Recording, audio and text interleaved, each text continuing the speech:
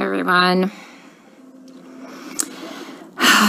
Great goodness. It is 8:42 New York time. And I got to my regular unit and they took my patient away, my black guy. And now I'm getting switched units. This is exactly what happened before at the other hospital. As soon as I told somebody and like like management and tried to advocate for my patient, they take the patient away from me and then they move me. so like I legitimately don't even know what to do anymore. Like even the advocacy groups don't give a shit about these people.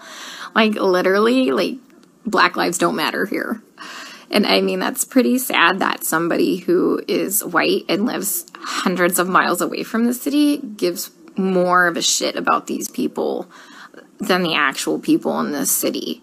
Like, for real. Like, I had a complete breakdown yesterday because, you know, I missed an important email to do a revision on my proposal. So my proposal got canceled because I was trying to advocate for my patient and talk to management here and get the care that he needs because he's being medically mismanaged.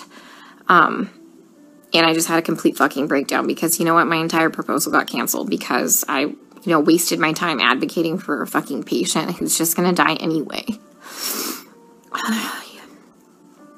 you know, and sure enough, they take the patient away from me. And then almost two hours into the shift, they switch me units.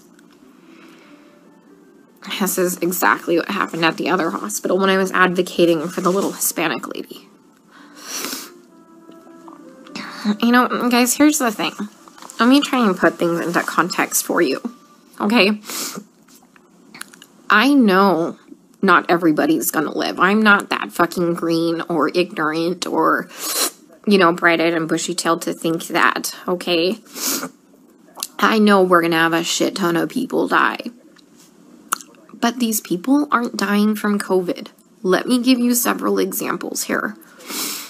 Uh, an anesthesiologist um, intubated the patients, like, I think it was right, uh, like, bronchi, and of a patient and they couldn't get the sats up. And for about five hours like we were waiting on a chest x-ray to confirm that the placement was wrong. And in the meantime while we're waiting for that we've told the anesthesiologist that it was placed wrong because like literally only one side of his fucking chest is like inflating um he dies okay um a patient had a heart rate of 40 and the resident started doing chest compressions on him, which is not what you do.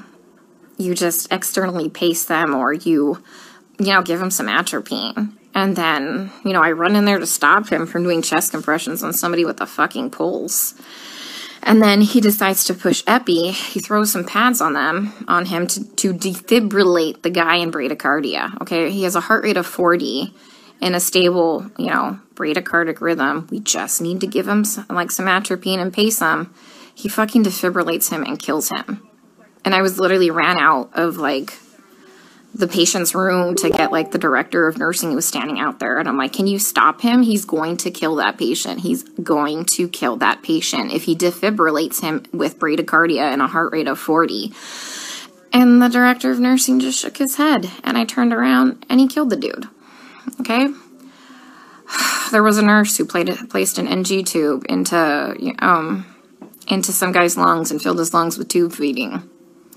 There was a nurse who confused uh, a long act acting insulin with a short acting acting insulin and gave 30 units of a fast acting acting insulin and killed the guy.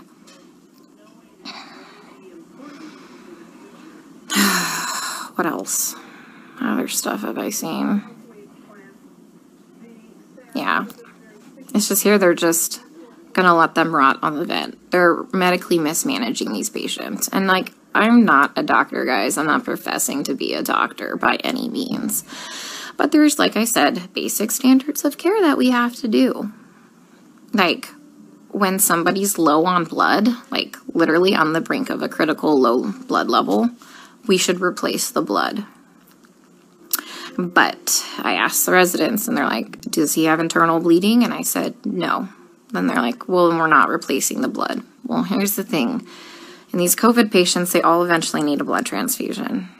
Their blood, like, if you don't have enough blood to actually oxygenate your body, the vent settings don't fucking matter, okay? they don't matter because you have no oxygen carrying capacity of your blood, okay? I told you about the patient where like all that like purulent drainage just kept seeping into his lungs because the ET tube cuff was leaking and nobody has a fucking manometer here to check the pressures. And I finally figured that out.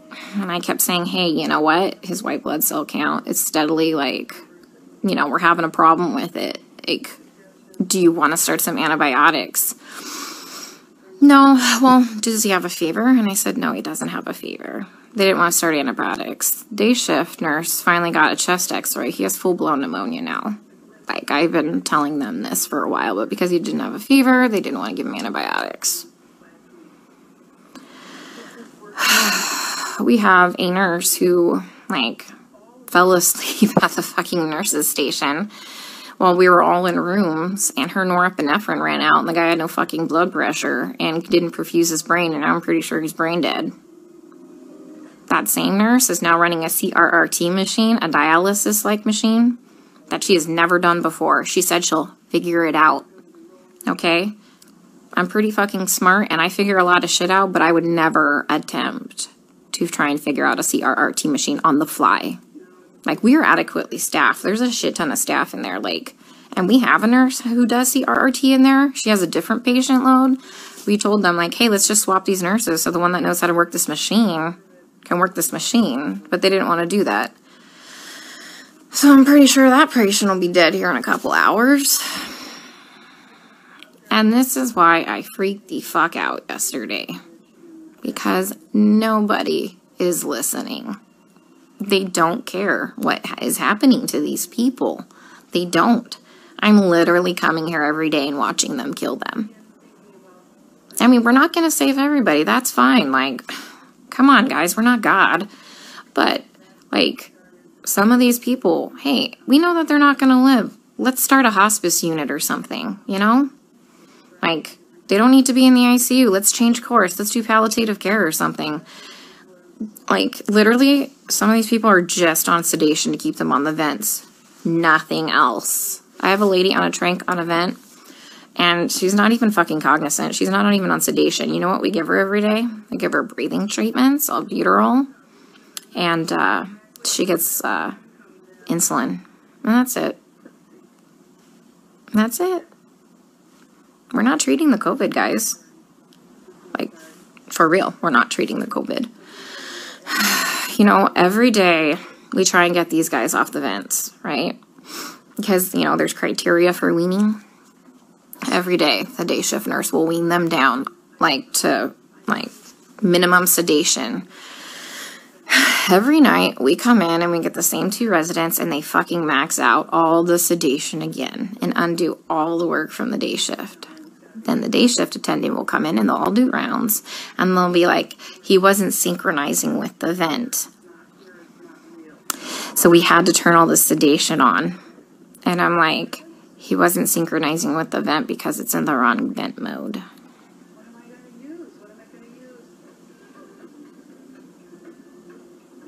So I legit don't even know what to do anymore.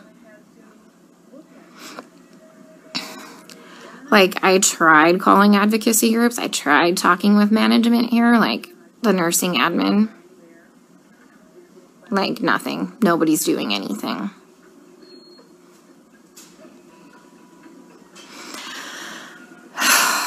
we still have a 100% mortality rate in the ICU unit. I would just left.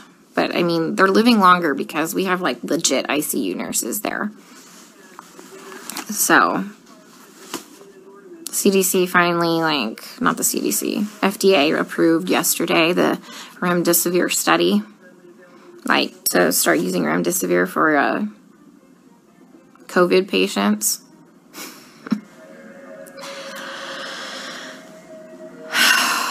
Guys, I don't even know what to do anymore. And this is why I had a complete fucking breakdown. Like, I literally had to call my friend Lisa and FaceTime her, and she answered the fucking phone while she was in the shower because she like knew I was having a hard time to talk to her because it's like going in the fucking twilight zone. Like everyone here is okay with this. Look, the only way I can kind of put this into context for everybody is, and this is going to be kind of an extreme example. This is like really the only thing I can come up with. Is like if we were in Nazi Germany and they were like taking the Jews to go put them in a gas chamber, I'm the one like they're saying, hey, this is not good. This is bad. This is wrong. We should not be doing this. And then everyone tells me, hang in there. You're doing a great job. You can't save everybody. You're, you know, you're amazing. You're a great nurse. Guys, I know I'm a fucking good nurse. I know I go in there and I give it 500% every day. I know I'm not being negligent. Okay? I fucking know that. What I need is someone to help me save these people from being killed. Okay? From gross negligence and complete medical mismanagement. And no one is listening to me.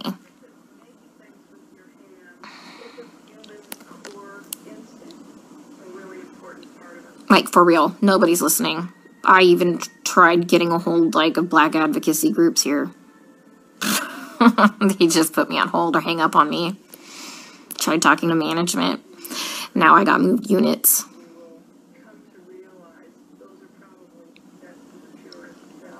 Like, I legit don't know what to do anymore.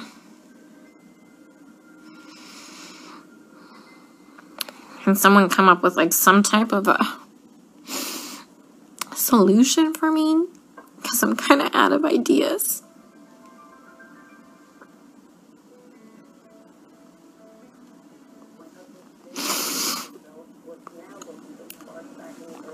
You know, I, I try and talk with some of the other nurses here, and they're like, well, you can't save everybody. And they all know what's happening. They all agree with me, and they all just shake their heads. And I'm like, am I the only one who is not a sociopath?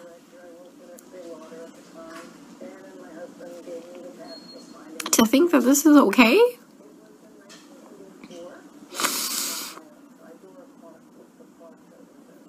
I mean, guys, they literally don't even know when they're dead. Like, how many times have I told you they've assigned me a dead person? like, how long have they been dead? Nobody knows. Like, how is anybody assessing anything without a stethoscope? Normally, we have like those disposable stethoscopes, but I knew what we were coming into, so I brought my old junky one. Nobody, nobody's listened to anybody's lungs as long as I've been here, even with disposable stethoscopes.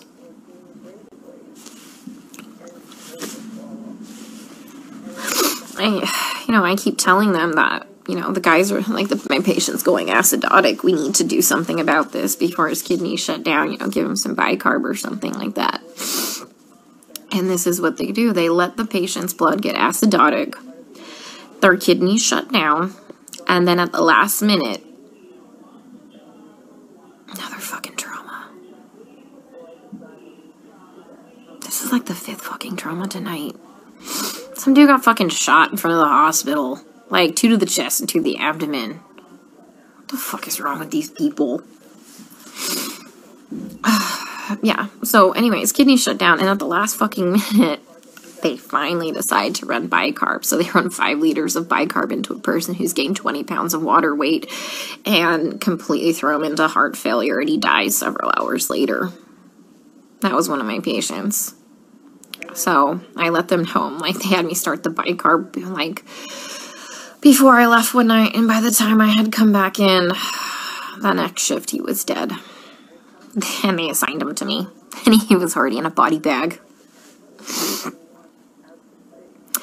Like, guys, they're not dying of COVID, okay? Like, yeah, people are gonna fucking die of COVID. Like, yeah, some people legit will end up with multi organ failures and will just throw the clots and kill them, like, and die, people. I fucking know this. I'm not like some fucking new grad, okay? That's gonna save everybody in the world, okay? I am literally telling you that they're murdering these people, and nobody will listen to me. I mean, like I said, I'm not a doctor, but I'm pretty sure that when you defibrillate somebody with a heartbeat of 40 in a stable rhythm and you kill them, that's murder. And I'm pretty sure that when you put somebody's PEEP up to like 25 and PEEP doesn't go past, I think, like 15, 20, and you, you blow their lungs out and they die, I'm pretty sure that's murder. you know, I mean, I've watched a doctor drop a central line and fucking rupture like the sub like clavian like vein and the guy fucking bled to death.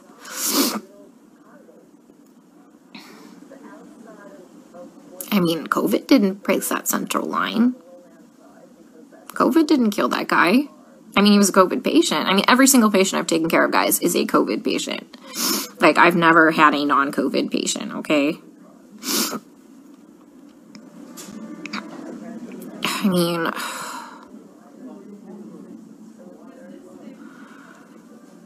I don't even know what to say anymore.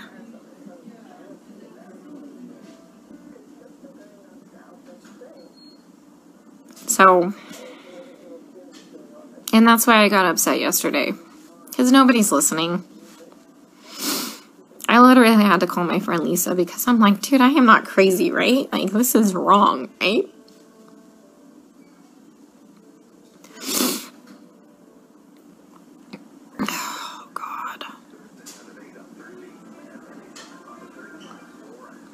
Watched anesthesiologist place an ET tube and rupture their esophagus, and the guy choked to death on his own blood.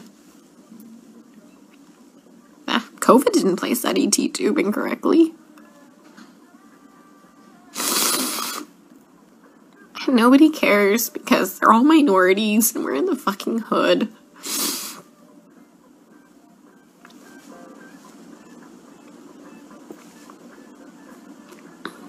You know, and that's just not okay.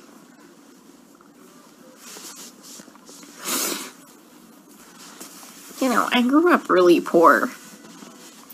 And so I know what it's like to be like completely forgotten and for nobody to advocate for you. And that's why I get really upset, guys. Because, like I said, I know that a lot of people are gonna die, but you know, COVID didn't cause that pneumo.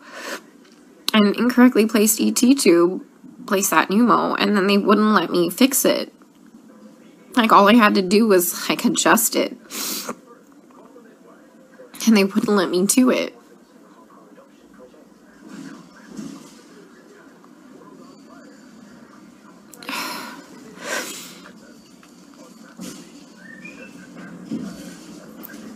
So if anyone's got any idea what the hell I can do to save my one black guy before they completely transfer me out of this hospital, that would be great. Because he's mentally there. When he sees us come in, his heart rate and his blood pressure drop up, and he doesn't sync with the vent because he can see us, and when we leave, he calms down again. He just physically can't communicate with us. Like I told you, I had Stephanie explain to him what was happening to him because you can't hear me very well through a respirator. Plus, I'm sure that respirator is probably scary especially if you're kind of out of your mind from all the sedation. But he's a cab driver and lives a couple blocks away from here.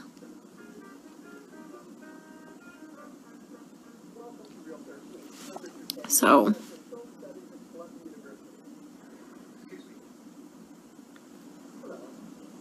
Mm-hmm. He has some family, but the problem is it said 999999 for the phone number and I didn't get the address before like I abruptly got moved. I'm sitting in the vending machine room because it's nice and cool. I'm in between units right now, so they haven't realized I'm gone. I figured I'd have a mini meltdown and then get my shit together because I've never been to the other unit. Mind you, I've been on this unit the whole time, and whatever, I'm flexible. But once again, you know, I talked to admin. Next day I got moved. What happened at the other hospital. They don't care what's happening to these people. And I just have to keep watching them die. And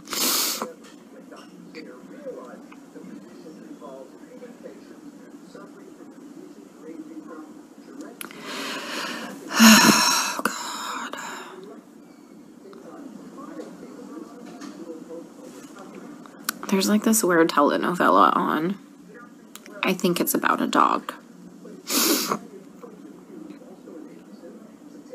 Yeah, I mean, I tried talking to hospital management. I tried calling CMS. I tried calling the equivalency of their division of aging. I tried calling a couple black power groups in the area.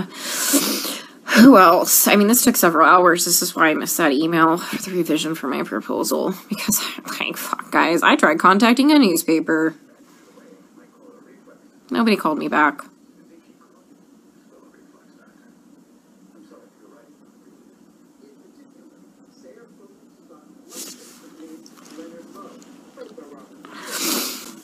So,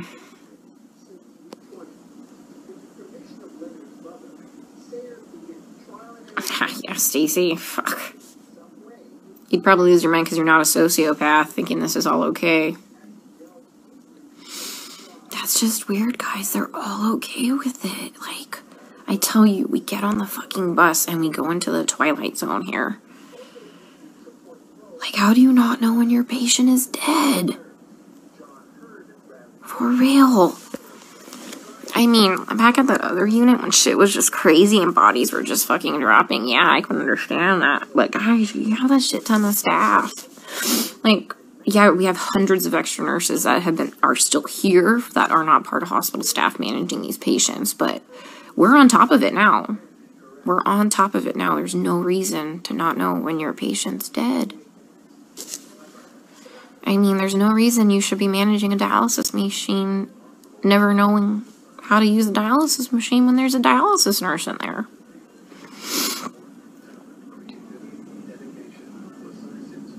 My hand's shaking because I'm so pissed. Yeah, that nurse that was sleeping in the corner there. She was she's from the she was from the ER yesterday, like when I had my first original breakdown. And, uh, and, uh, she's like, well, they don't just unnecessarily intubate them. They try and, you know, would you bypass? I'm like, girl, I am not fucking green. I know some, like, people need a, a, tube dropped, okay? Like, I'm not saying that. Like, at the other hospital, they were doing unnecessary intubations because they had no fucking clue how to put the vent into, in, into CPAP or BiPAP. Yeah. I mean, so, I mean, but yeah, there's like legit indications like, fuck, that dude needs that tube. Yeah, I, I know that. I know that. God. Yeah, my lead at the other hospital who advocated for the patients too. Like the first day I got there and I was in orientation, that, that crash course orientation, he warned me that I was going to have a problem. He would advocate for the patients too. They fucking moved him too. He's at a completely different hospital. I tried reaching out to him, but he hasn't texted me. Like, I, what you think I saw what was bad? He saw way worse shit than that. Okay, how bad's my face look? I'll just put my respirator on. They ain't gonna fucking know no different. I was in here freaking the fuck out. Alright, guys, I'm going to the unit.